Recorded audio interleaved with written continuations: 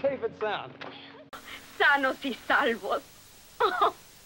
corres demasiado. Oh, solo trato de divertirte. El tener que cuidar a tu papá y a Jimmy te ha hecho muy seria.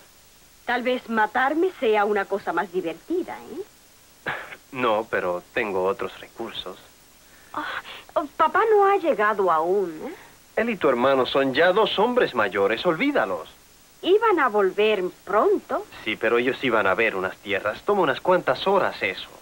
Yo creo que tú debiste ir también con ellos, Joe. No me interesaba ir a ver esas tierras. Es que yo soy algo irresponsable. Sí, tú lo sabes.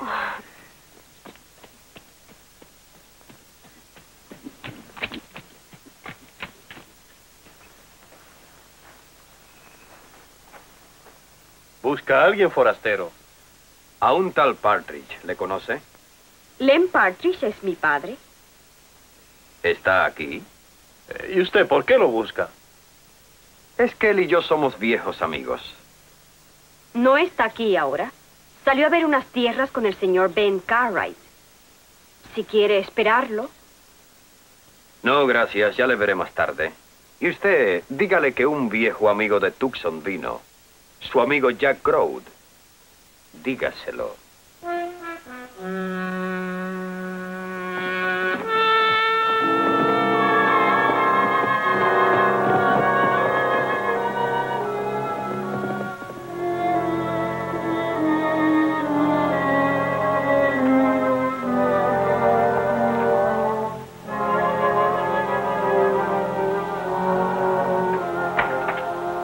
Carolyn, ¿qué te pasa?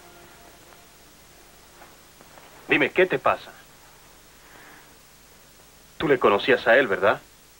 No, no, yo no le conozco. Mi padre sí. ¿Quién es? Jack Grove. Es de Tucson.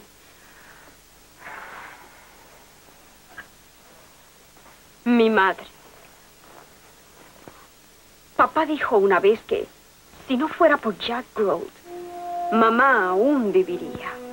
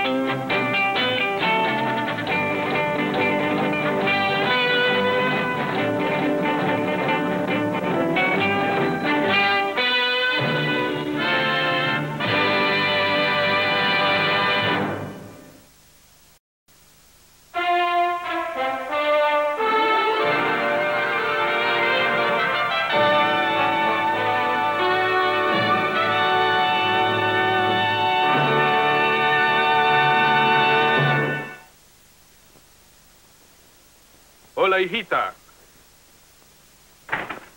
Vaya, ustedes dos debían estar divirtiéndose. Los encuentro muy serios.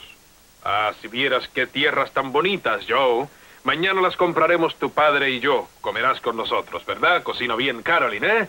Papá, un hombre te vino a buscar hace un rato. ¿Qué hombre? Jack Grove, según me dijo. Jack Grote, ¿eh? Ese no es el hombre que... Sí, ese mismo fue. Dijo que después volvería a verte, papá. Yo sabía que había de venir. ¿Qué vas a hacer, papá? ¿Hacer qué hay que hacer? Tienes que hacer algo. No te preocupes por él, déjamelo a mí. Perdone, eh, esto quizá no me importe, pero... ¿Es cierto lo que Carolyn dijo, que ese hombre Grote es responsable de la muerte de su esposa? Sí, Joe, es cierto. Ocurrió hace diez años en Tucson. Un día de mucho sol.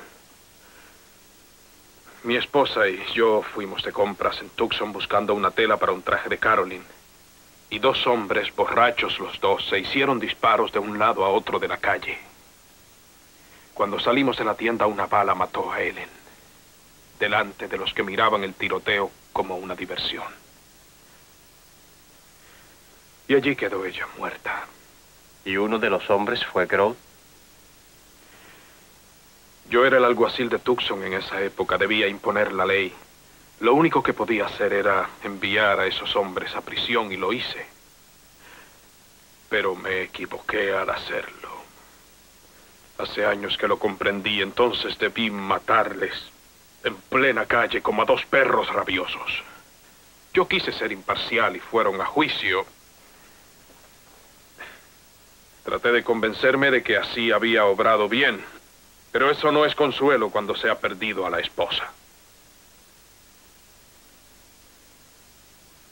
¿Y ahora qué vas a hacer, papá? Debo esperar primero a ver qué piensa él hacer, hijo. No te preocupes. He tenido que luchar con muchos como él. Vamos a comer, hijita. Te quedarás, ¿verdad, Joe? Pues no, gracias, señor Partridge. Quisiera quedarme, pero debo volver a casa. Dile a tu padre que nos encontraremos a las 10 de la mañana en la oficina de tierras, ¿eh? Sí, señor. Adiós, Caroline. Adiós. Eh, Caroline,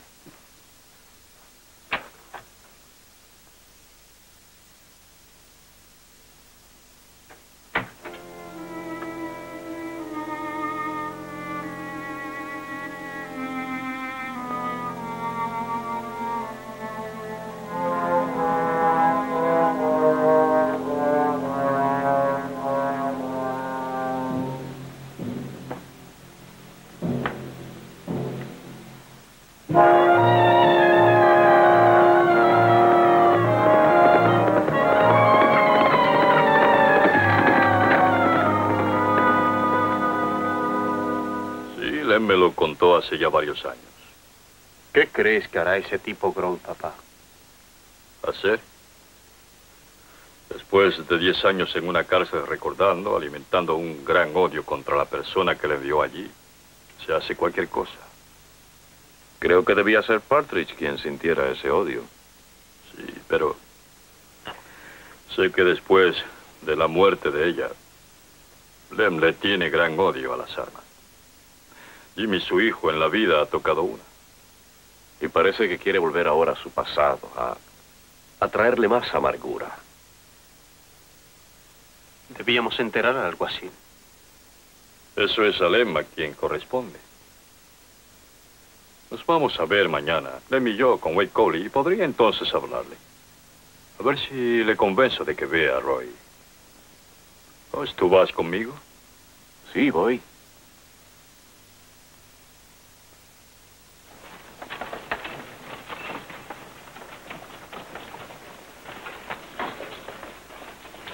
Tú tardarás mucho, papá. Solo lo necesario para que Lem y yo lleguemos a un acuerdo sobre el precio con Wade Cowley. Tú pon las cosas en el carretón y no te vayas a ir a comer algo y... a- Descuida, descuida. Estaré esperándote, papá. Está bien. Saldré tan pronto lo terminemos todo, ¿eh? Hola, Wade. Hola, Ben. Hola, Jimmy. ¿Y tu padre?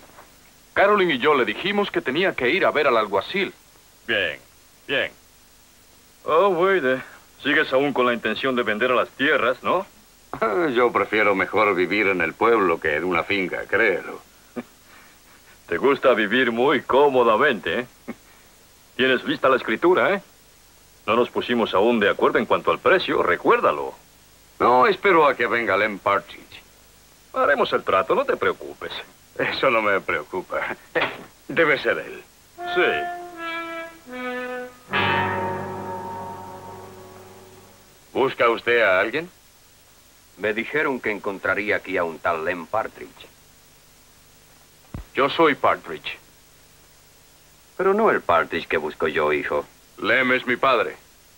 Oh, sí, pues claro. Olvidaba que Lem me habló un día de ti, ya lo recuerdo. ¿A qué viene? ¿Quién es usted? Pues solo vengo a, a saludar a un viejo amigo. Usted es Jack Grote. Vaya, sí, se siente muy bien uno cuando ve que le conocen por su nombre. ¿Qué busca usted con mi padre? Quieto, Jimmy, quieto. Ven, cuidado. Sí, cuidado. Esto no le concierne a usted, es algo entre Partridge y yo. El muchacho le preguntó algo. Sí, eso es cierto, ¿eh? No le han educado muy bien, es entrometido, ¿no es verdad? Él lo quiere matar. Se va a vengar de que le envió a prisión. Sí, por muchos años soñé en Yuma preso con este día. Y cuando Lem Partridge venga hoy aquí, voy a vengarme metiéndole un balazo en la barriga. Y no se le ocurra a ninguno de ustedes tratar de detenerme. ¿Han oído bien? Saque usted su revólver. Despacio. Ah, ah. Allí sobre la mesa. Capa.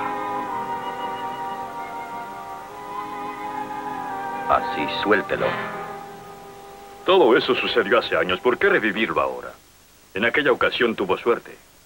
Solo fue unos años a la prisión. Esta vez quizás le maten. ¿Por qué no se marcha del pueblo y lo olvida todo? Aquello fue un accidente. Esta vez sé lo que debo hacer. Voy a dejarle muerto de un tiro. Si él puede defenderse, lo hará, pero yo le mataré. Y luego me iré con toda tranquilidad.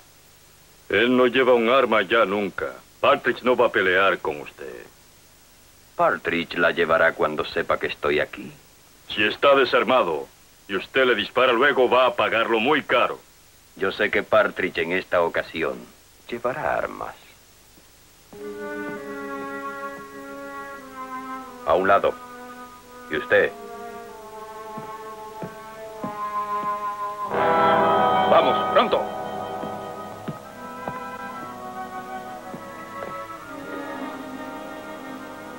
Siéntate.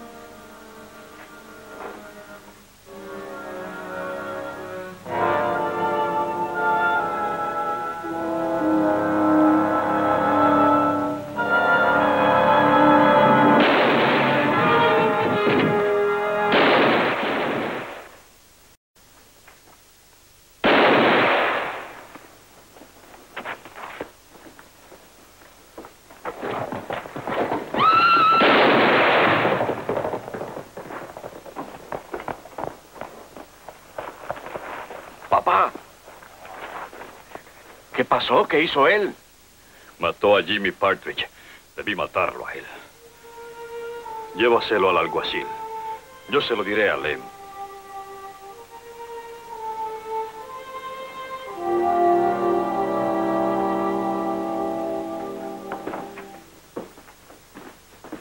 Creo que me sentiré muy cómodo aquí, alguacil. Esto está muy bien. Sí, es una gran cárcel. Entre.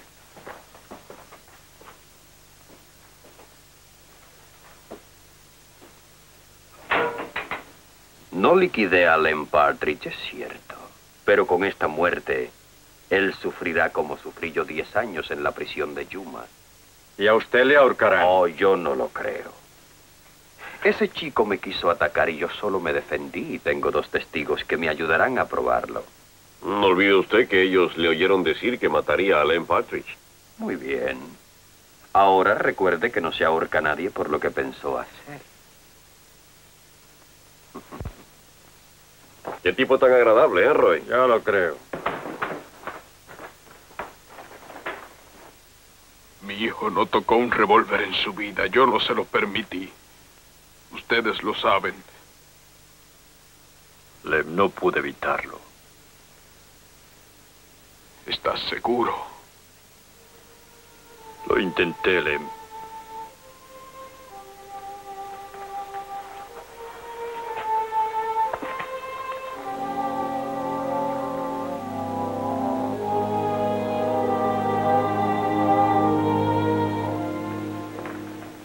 Dijo eso?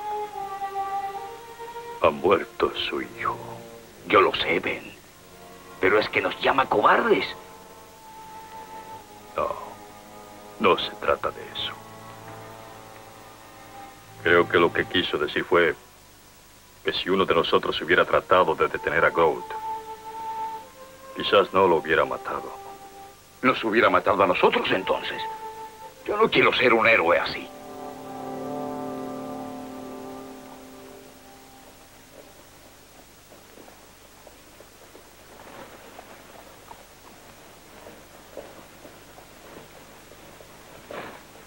Dónde va?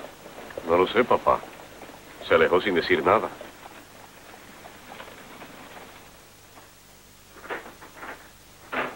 Hola, Lem. Yo ¿Dónde está Grout, Roy? Lem, esto es una locura. Te va a pesar. Abre ahora. ¿Por qué no...? Dije que abrieras.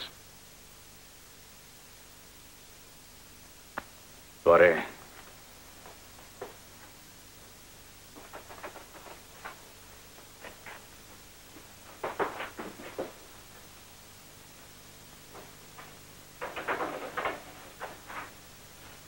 Espero por ti, Roy. Date prisa. Así pelea usted cuando el otro está desarmado. Antes solo le envié a la cárcel, pero pagará por sus crímenes ahora con la muerte. Suelta el revólver, Lem.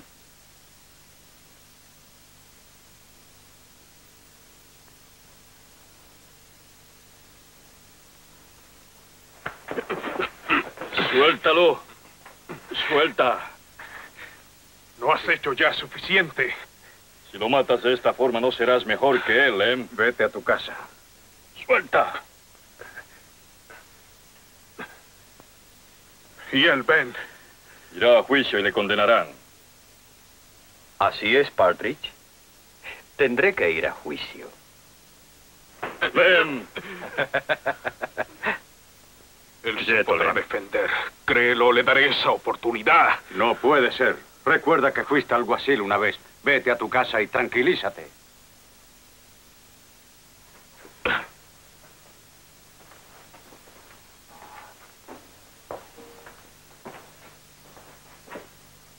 Tú no hiciste nada, le dejaste matar a mi hijo y ahora le proteges. Si fuera uno de tus hijos, habrías hecho algo, Ben. Pero no lo hiciste. Tú también eres culpable. Ambos lo son, Wade y tú. Entre todos mataron a mi hijo, ¿oyes?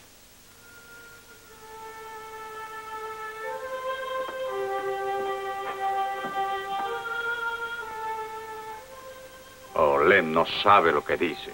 En cuanto se calme, le devolveré su revólver. Vámonos a casa, papá. Papá.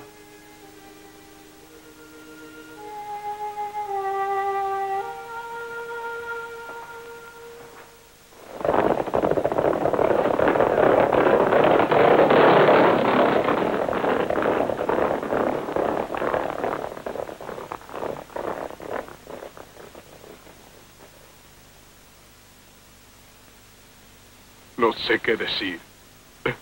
No tengo palabras. Él fue tan bueno. No ofendió a nadie jamás. Dieciocho años tan solo. ¿Cómo iba a defenderse siquiera?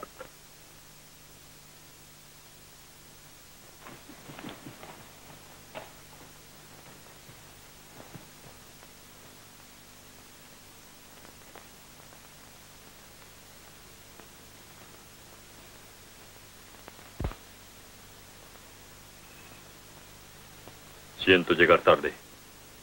Vengo a compartir tu pena. No tenías por qué venir aquí. Oh, calla. Tienes fama de valiente, Ben Cartwright. Pero fama nada más. Para mí vales muy poco. Sí, muy poco. Tú dejaste morir a mi hijo. No es culpa suya que Jimmy muriera, piénsalo. No impidió que le mataran. Y quien ve cometer un crimen y no lo impide es tan culpable como el que mata. No vengas a aliviar tu conciencia llorando ante su tumba ahora, Ben. Porque no te queremos aquí.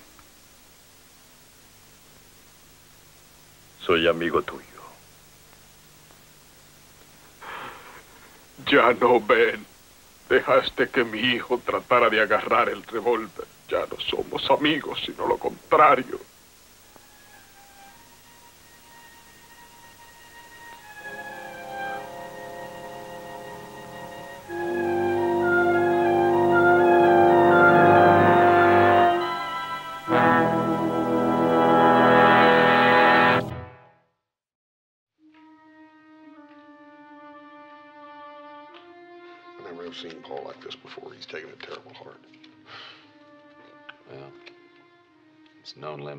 For quite a long time. Tu amigo.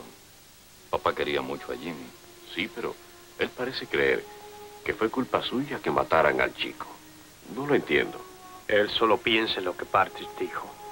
Papá no es responsable de nada, Adam. No, pero él lo cree. Se cree el mismo culpable. Sí. Y no creo que podamos convencerle, Adam. Tal vez podamos. Tal vez si le probamos que no lo pudo impedir.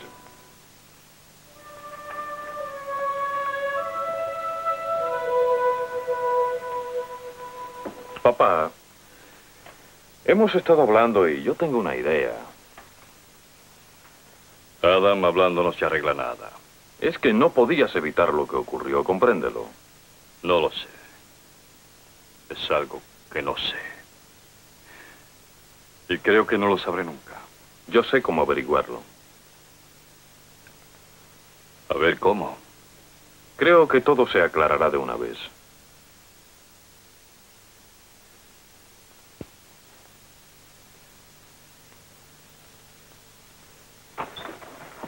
Hola, Wade. Hola, Ben. Hola, Joe. ¿Qué tal, Adam?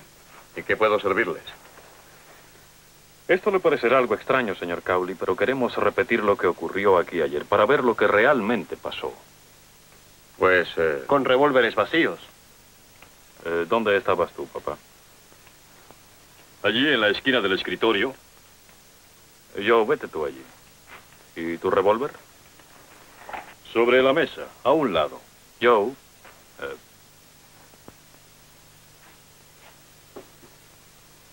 ¿Y usted, señor Cowley? Yo estaba allí al lado de Ben, pero no entiendo esto. Ya lo entenderá dentro de unos minutos. Bien, eh, ¿dónde estaba Jimmy? Sentado en esa silla. ¿Y eh, eh, Grout?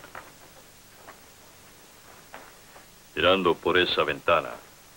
Oye, Adam, no me gusta esto. Papá es la única manera. A ver, ¿cómo ocurrió todo? Grout estaba precisamente donde tú, con el revólver en la mano. Y eh, se acercó a la ventana porque oyó pasos y volvió la cabeza. Creo que iba a bajar esa cortina. En ese momento, Jimmy quiso tomar el revólver. Bien, veamos qué pasó.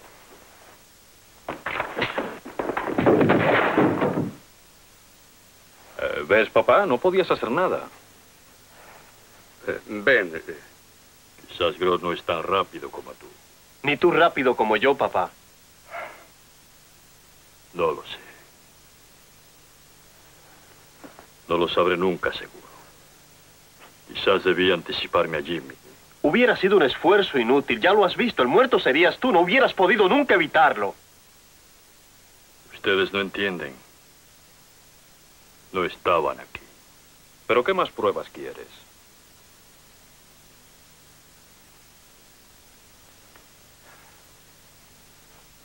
Gracias, hijo. Oh, oigan, vuelvan a casa. Tengo algo que hacer. Adiós, Wade.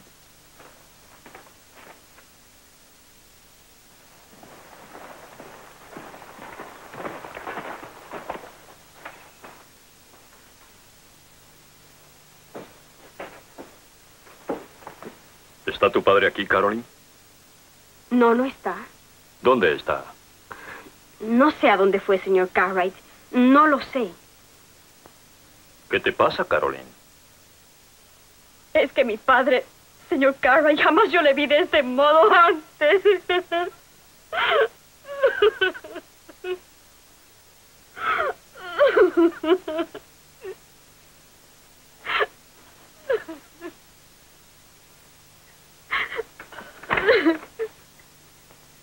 No llores más. Vamos, vamos, tranquilízate. Vamos. Dime, ¿qué ocurre? Pues, después del entierro ayer, mi padre salió a caballo y regresó por la noche. No quiso comer nada, me mandó a acostar. Le vi caminando durante toda la noche. ¿Toda la noche? Sí, a ratos me quedé dormida, pero lo oí entre sueños. Esta mañana temprano no pude resistirlo más. Entré en su cuarto. Le encontré limpiando un rifle. Oh, siento mucho no ser fuerte. Oh, Caroline. Esto es... es muy duro, lo sé. ¿Dijo él algo cuando entraste? No, nada. Solo... Al ver el rifle yo entré y traté de quitárselo de las manos. Y entonces él me empujó. Me extrañó mucho. Nunca antes mi padre se enfadó conmigo, nunca. Pues... eh, a veces los hombres hacemos cosas cuando nos enfadamos que luego nos pesan mucho. Pero es que no parecía mi padre. Em, Me miró muy serio y se marchó de la casa. Le oí salir en su caballo y alejarse. ¿Cuándo fue eso? Fue hace un par de horas. Yo debo irme ya. Señor Cartwright, por favor, dígame usted. Yo no entiendo por qué cuando murió mi madre, él, él no usó más armas y ahora que Jimmy murió, las vuelve a usar. Caroline, a veces cuando... cuando la muerte nos aflige, se oscurece la mente. No se puede pensar. ¿Por qué matar ahora a Growth? O él no lo matará. Groth está en la cárcel. El alguacil Coffee y yo somos amigos de tu padre, así que no pasará nada. Oh, gracias. ¿Tú has comido hoy? Anda a preparar algo.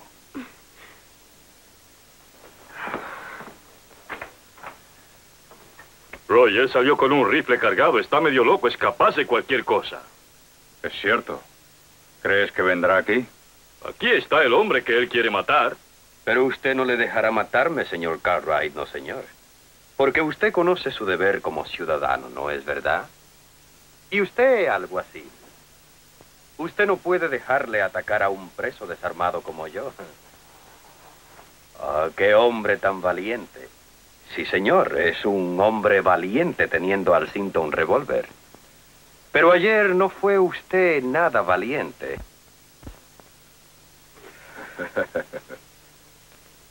Debemos buscar a Lem, Roy. Hacerle entrar en razón. Sí. ¡Hey, esperen! No van a irse y a dejarme aquí solo, indefenso.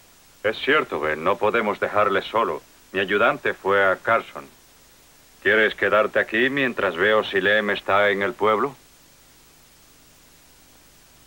Está bien. Búscalo y trata de convencerle. Sí.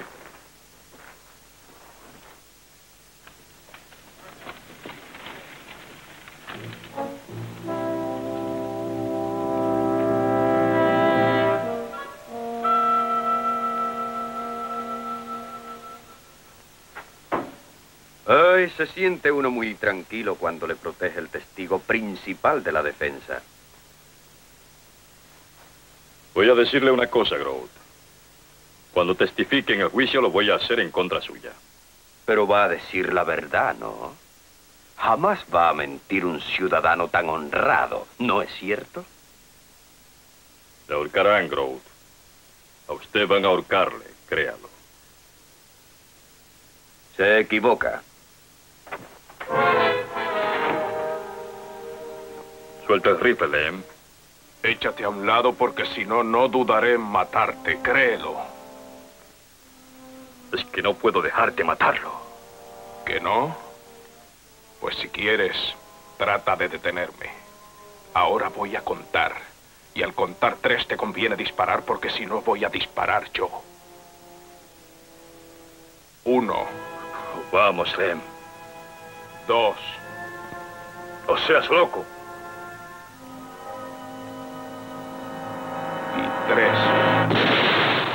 Es en la cárcel. La próxima vez tiraré a matar. Sí, te convendrá más.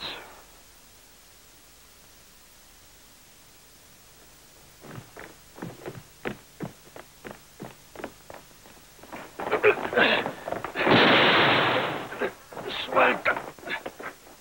¡Lem! Nos atacó a los dos. Trató de matarnos. Ven, ¿qué te pasó?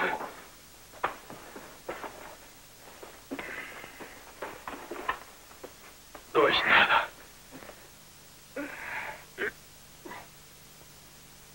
Es una herida superficial. Quiso matarte, ya has visto. Sí, tal vez, pero no lo hizo. ¿Tuvimos culpa de algo nosotros? Posiblemente sí. Oh, ¿culpables de qué? No, no comprendo. Quizás hemos, hemos podido hacer algo y nadie hizo nada, ¿verdad? No, somos humanos. Y como humanos somos débiles. Ven, ¿cómo estás? Estoy bien. ¿Y Lem? Se nos escapó. Esto es grave. Es una cosa tratar de procurar vengar la muerte de un hijo. Y otra estar atacando a la gente con un rifle, ven. ¿Qué vas a hacer? Debo hacer que le busquen enseguida. Enviaré un grupo. No creo que vuelva a su casa. Roy. Lem es un viejo amigo mío.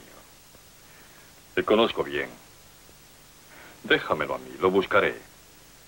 Oye, tú haz lo que mejor te parezca. Yo no puedo olvidar mi deber. Lem hirió un hombre y quiso matar a otro. Y como yo pueda, le capturaré.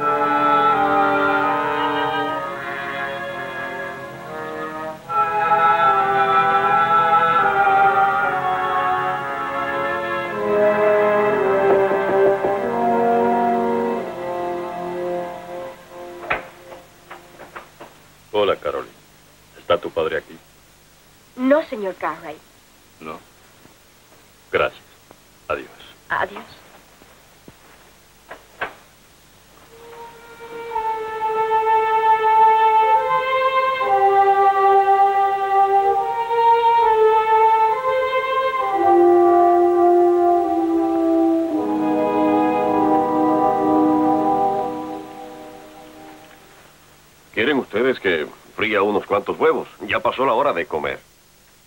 No tengo hambre. Creo que debíamos salir a buscar a papá. Ya eso lo hemos discutido antes. No creo que con eso se consiga nada ahora, sino que creo, en cambio, eh, que si papá nos necesita, vendrá a buscarnos. Papá nos lo hubiera dicho si pensaba volver tarde. Bueno, no sacamos nada con hablar con el estómago vacío. ¿Cómo hago los huevos? No tengo hambre. Sea como sea, voy a salir a buscar a papá. Espera, no tenemos que salir todos a buscarlo ahora. Tú, Jos, quédate aquí por si regresa. Mientras tanto, tú y yo ve a los ranchos vecinos a ver si está en alguno. Luego nos encontraremos aquí. No pongas esa cara. Cómete una docena de huevos y te sentirás mejor.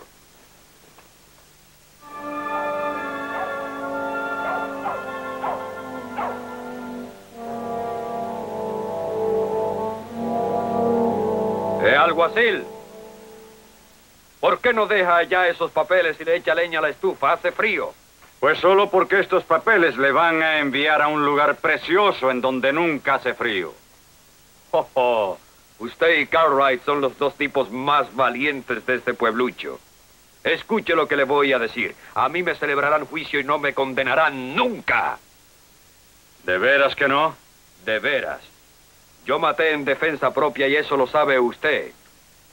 Le voy a decir ahora algo sobre este pueblucho. Los que viven aquí son los que le juzgarán. Todos nosotros sabemos que Jimmy Partridge no tocó un revólver en toda su vida. Y los testigos van a decir que usted dijo que mataría a Len Partridge. Jimmy solo trató de tomar el revólver para defender a su padre. Y usted le mató. Para defenderme. Eso nunca lo olvide usted. Él me quiso matar. ¿Y cómo podrá probarlo, Groot? El chico no llegó nunca a tomar el revólver. Yo tengo dos testigos, dos ciudadanos apreciados del pueblucho, que así lo testificarán. Oh, tonterías nada más. A ver, diga, ¿por qué el muchacho se arriesgó si no sabía manejar un revólver, ah? ¿Por qué? Sí. Porque el chico adoraba a su padre y no se quiso arriesgar. Y a los que viven en este pueblucho les consta todo eso. Ah, palabras solamente, eso mismo, palabras y nada más, eso. Estése tranquilo ya y le daré su comida caliente.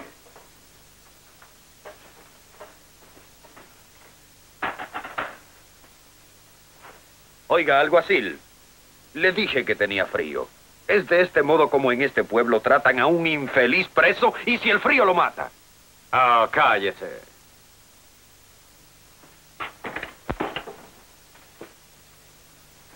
Tenga, échese esa manta por encima y cállese. No voy a echarme esto encima, está lleno de pulgas. Se lavó hace muy poco, no tiene pulgas. No una, sino cientos. No hay ni una sola pulga en él.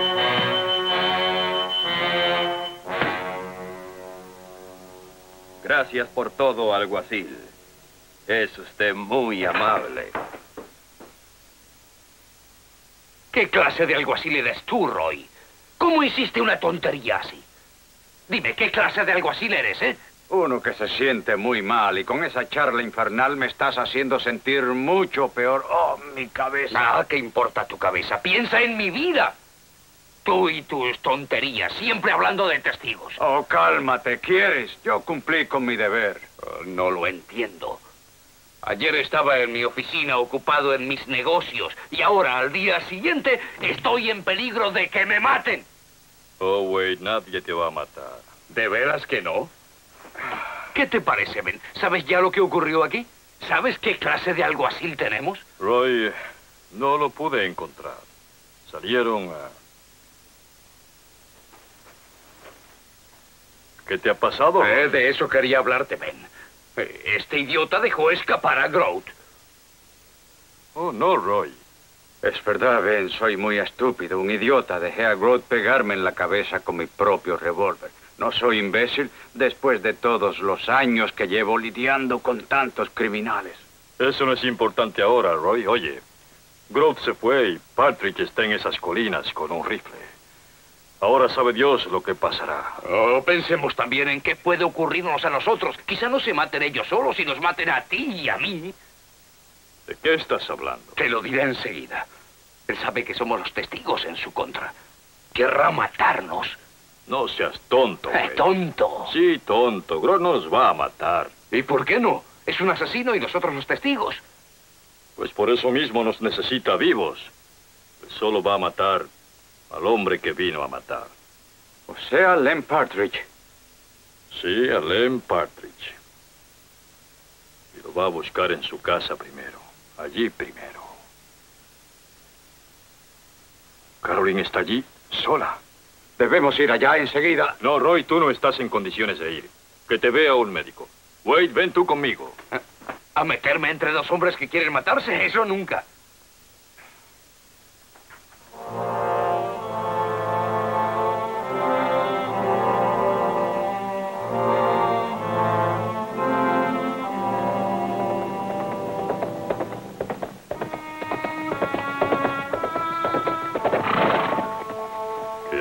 ¿Qué haces tú aquí? Estábamos preocupados por ti y salí a buscarte. ¿Te dijo el alguacil lo de Groot? Sí. Nos dijo que vino hacia acá. ¿Viste a alguien por el camino? No, a nadie. Aquí parece que no pasa nada. Ve a ver el establo.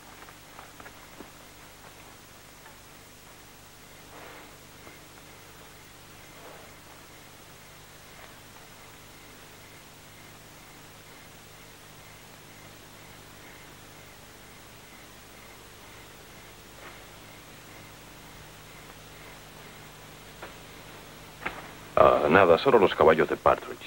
Oh, y Caroline parece estar bien. Creo que tus temores respecto a Groot eran injustificados.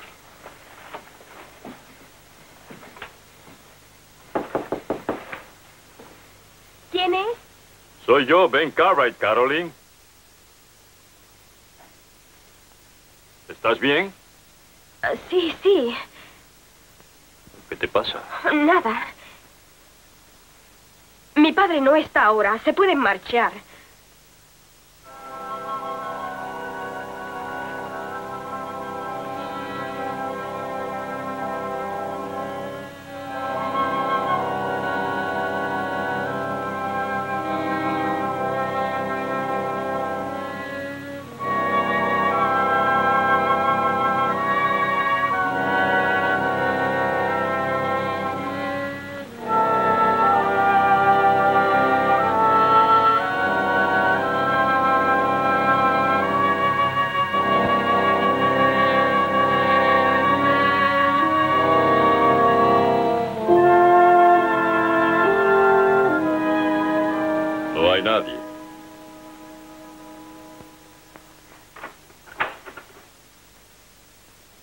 Lo que te pasa, Caroline?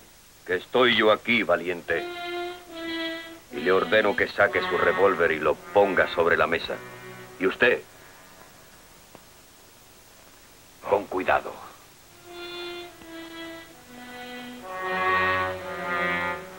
Cuidado. Váyanse a aquel rincón, los dos. Espera a papá para matarle. Sí, es tan lista como su hermano y bonita. Oiga, Groot. Ya usted mató al hijo, ¿por qué derramar más sangre? La de él. La derramaré tan pronto como le vea entrar por ahí. Si me van a ahorcar por uno, que me ahorquen por veinte. Tal vez lo deje arrodillarse ante mí a suplicarme. Y veré sus ojos asustados. Sí, que suplique un poco. ¿Cómo sabe que vendrá esta noche? Pues si no, aguardaré lo que deba aguardar.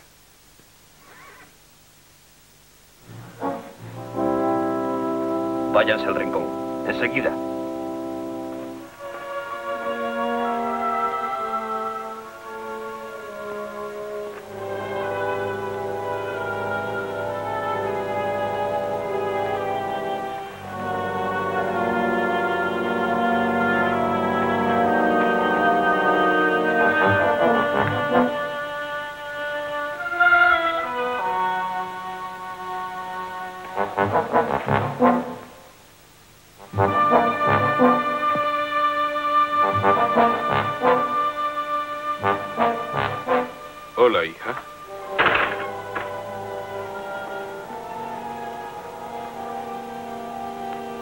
Hace usted aquí? El rifle, suéltelo.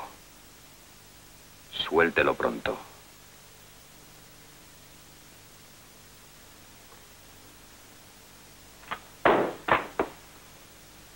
Estaba aguardándole. Debí imaginar que escaparía de la cárcel. No hay una cárcel que impida que yo le liquide a usted. Acérquese a la chimenea. Aléjese del rifle.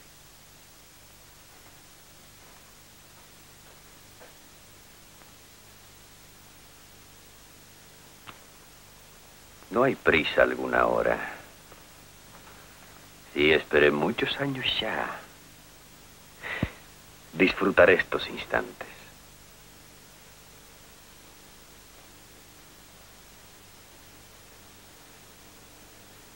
Ven aquí, nena. Oh, pero qué familia tan testaruda. ¿Recuerda a tu hermano o te ocurrirá como a él, nena? Haz lo que dice Caroline.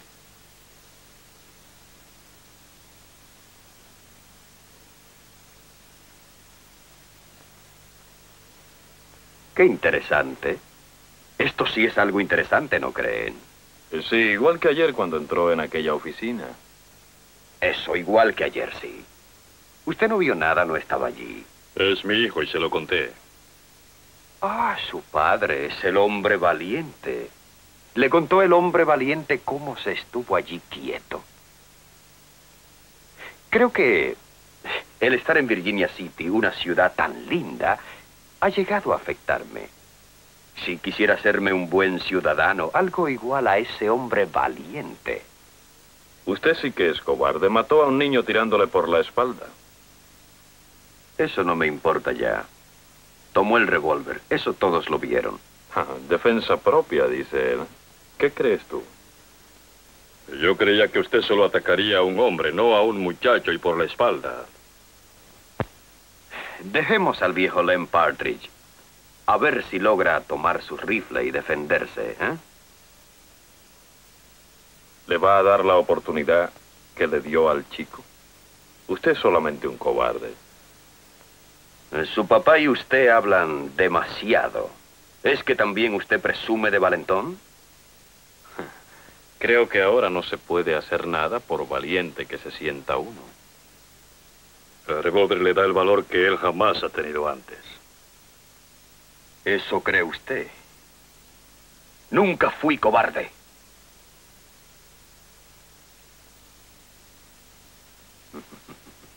Vaya, no hacen nada, ¿eh? Todo se queda en palabras. Ahora hablaré yo. Tengan cuidado conmigo. O les puede pesar, ¿oyen?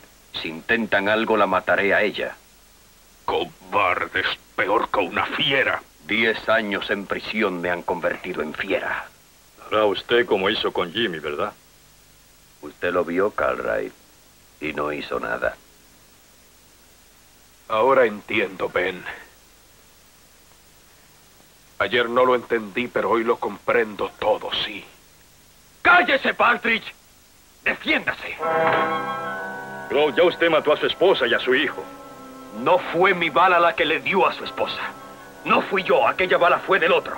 Y yo no hubiera ido preso de no ser ella la esposa del alguacil. Si yo no hubiera sido alguacil, entonces no estaría usted vivo y tuvo suerte. Suerte, sí. Diez años de suerte. Veamos cuánta tiene usted.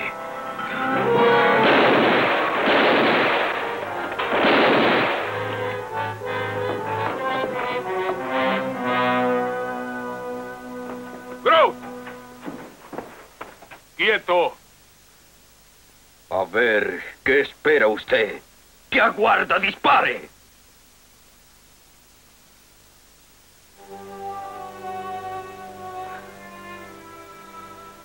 Adam, ve al pueblo y trae al alguacil. Haces bien. Haces bien.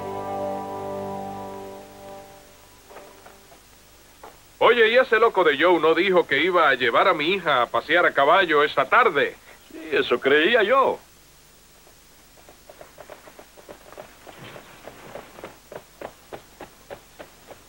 Hey, hola, güey. Hola, Ben. Aquí está la escritura. Y a un buen precio, Lem. Ya lo creo. Aquí está todo en orden y sellado. Gracias. Parece que esto no salió bien, ¿eh? Sí. Debo dar gracias por todo a Dios. Ha sido mucha mi pena, pero le debo tantos favores. Y uno de ellos es que tengo un amigo.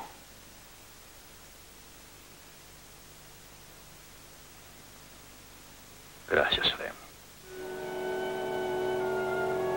¿No vas a salir a ver tus nuevas tierras? Oh, ya lo creo que sí. Adiós, Caroline.